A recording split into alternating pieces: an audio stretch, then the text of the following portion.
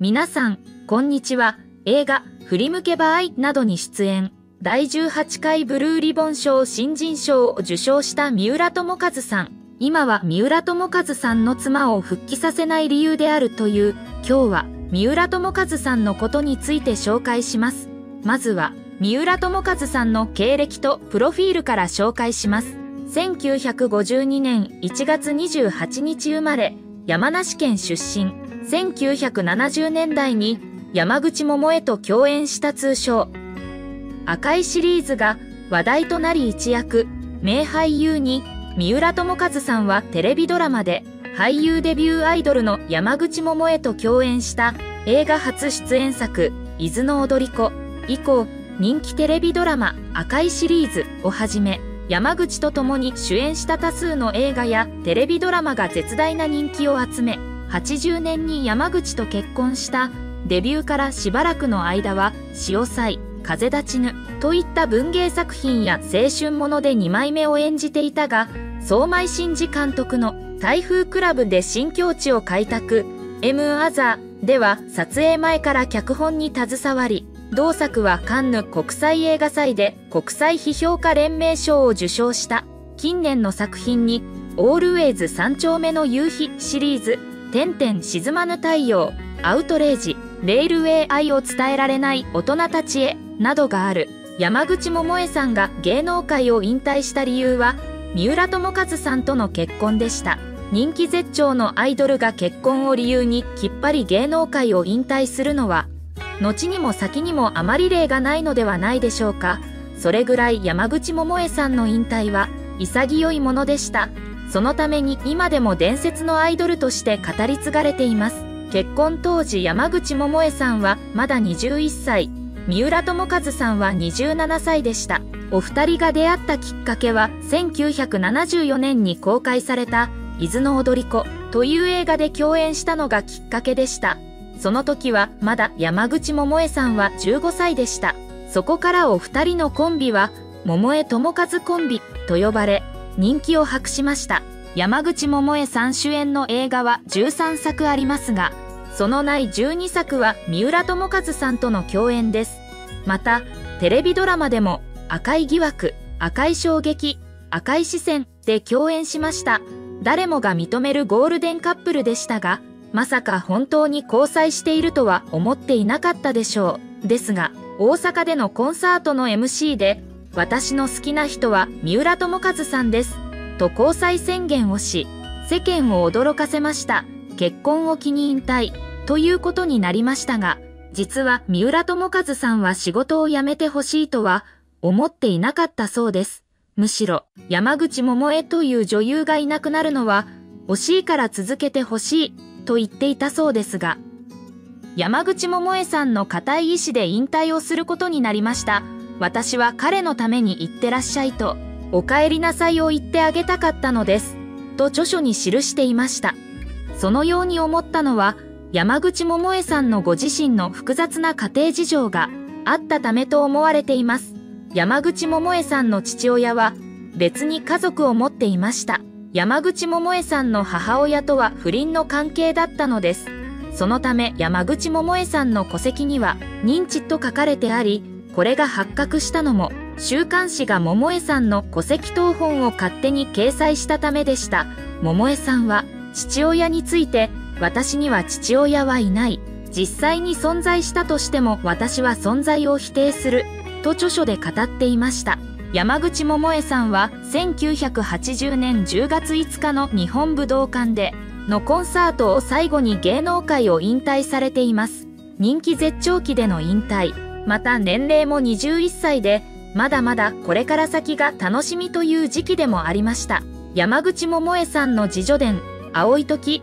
は引退直前に出版されており、山口百恵さんの複雑な生い立ちや三浦友和さんとの初体験についても赤裸々に綴られており、発売当時話題となりに100万部を超える大ベストセラーとなっています。愛する人に尽くしたい、そんな一途な山口百恵さんの思いが伝わってくるようです。実際に山口百恵さんは引退後はメディア出ることはありません。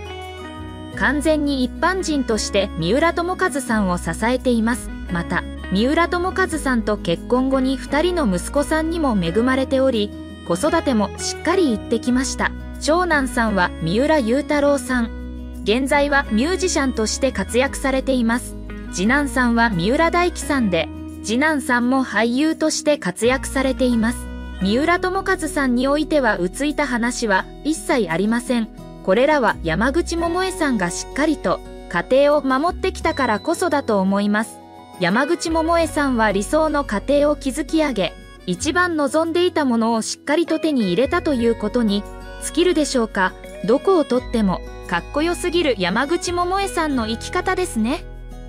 三浦さんと山口さんは1988年東京都国立市に美術館のような豪邸を建てたそうです。まさに白亜の宮殿といった感じですね。なぜ自宅の場所を立川市にしたかというと、この地域は都心と比べ緑も多く落ち着いており、文京区として子育てにも適しているからです。しかし、あまりにも有名な夫婦であるため、ファンが自宅に押しかけていないか心配になってしまいますよね。ちなみに一時期は、23区内に一時的な仮住まいを設け引っ越したそうですが、結局は自宅に戻ったそうです。都内各地で桜が満開となった3月下旬のある日、東京国立市にある施設へ向かっていくのは三浦友和。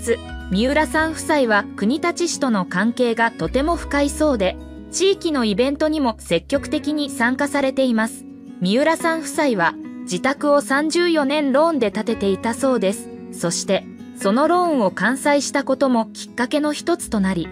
2021年に自宅のリフォームに着手しました友和との新たな日々に向けてリフォームを進める桃江さん。どうやら、このリフォームによって、息子である三浦雄太郎さん夫妻の同居も見据えているようです。孫も生まれているので、三浦さん夫妻も毎日顔を見たいのかもしれませんね。ちなみに上沼恵美子さんがこの同居計画に反対しているようですが、三浦家の家族仲の良さを考えると問題ないのではないでしょうか。2023年現在の三浦さんは年齢を考えておそらくは仕事量をセーブしているのでしょう映画やドラマ CM などに数本出演しているもののテレビで見る機会は減ってきている印象ですね肉体的にもスケジュール管理を万全に行い一本一本に集中してしっかりとした仕事をしたいという考えがあるのかもしれません一見すると仕事を絞っている様子の三浦さんですが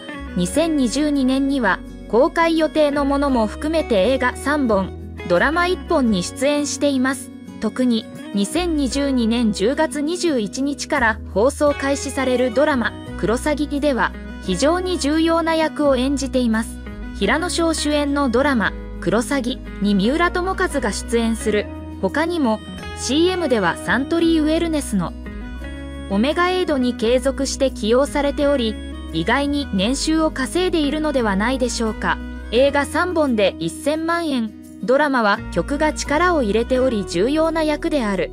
ことから3000万円ほど CM で1000万円稼いでいると推測します。合計すると年収にして5000万円となりますね。彼の年齢を考えると相当稼いでいると言えるでしょう。いつ見ても素敵な俳優の三浦友和さんになんとカツラ疑惑があるようです。カツラを着用すると髪の毛のボリュームがいかにもつけてます。と言わんばかりのふさふさな状態になりますよね。確かに三浦友和さんの髪の毛は若い頃から量が多いです。男性はどんどん毛量が少なくなり悩む人が結構います。2021年にリクルートがアンケートを取ったところ、薄毛である薄毛になる不安があると答えた男性は全体の半分近くいることが判明。対策をしている人も一定数いるようで、薄毛は中高年の男性にとって避けられない問題だと感じている人が多いようです。